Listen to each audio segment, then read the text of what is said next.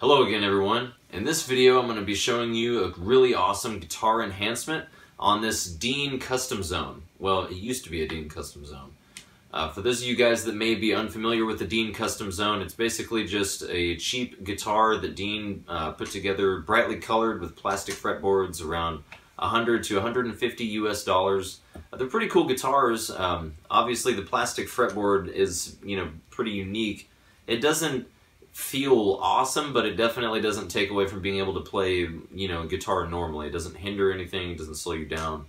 Uh, it's kind of a cool design. Unconventional, but cool. So in this video, I'm going to be showing you my enhancements to it. Uh, we're going to be changing the pickups.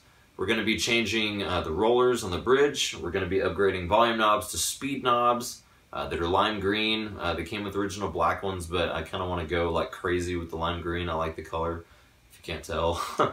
Um, so we're going to be adding some, a little bit more neon green into this as well. Uh, one thing that I've already done is I've stained the neck black and then etched out some of the paint with uh, with some steel wool. The neck is regularly just a you know plain Jane maple neck, um, so I decided to kind of spruce it up a little bit, make it kind of look a little different. Um, so we're going to be looking at um, some of the stuff that we're going to be kind of putting into this guitar. I have here a set of Dragonfire Hexbucker pickups. Uh, they're humbuckers, um, obviously. They're very cheap pickups. They're very budget-worthy pickups. For a guitar like this, this is the ideal pickup for real. They're $50 brand new on Reverb.com, and that's from the actual company themselves, Dragonfire. Um, and I actually have a video where I'm just talking about these guys, so go check that out if you want to as well. Um, I also have here a roller. I'll kind of throw in a little bit bigger picture so that you can kind of see what it looks like.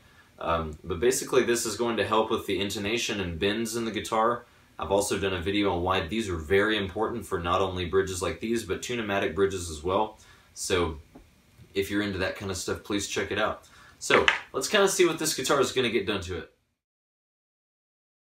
All right, everybody, the guitar is all finished up here. Let's talk about all the modifications we had done here. So the first thing that I did was get some speed knobs from JAT Custom Guitar Parts. It's almost the same color green, it's just off enough for you to not notice it though. the rubber on the outside makes it super speedy. These guys are awesome, man. They're super cool looking, very clean. Then we have the rollers on the bridge here. The gold roller is a very nice touch with all of the black, uh, super black hardware, very shiny, looks great, sounds great. Already intonated them. They're wonderful. Make sure you check out my video on why these are very necessary for your guitars. And lastly, we have the Dragonfire Hexbucker pickups. Their output is very gnarly at 15.6K. These guys are really pushing the envelope.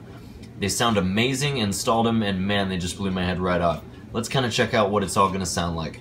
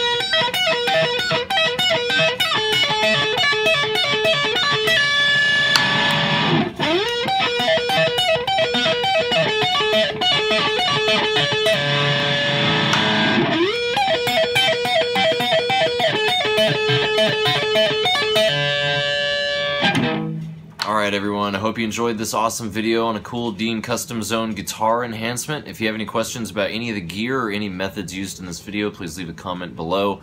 I'll be sure to get back to you, and as always, don't forget to like and subscribe. Thank you very much.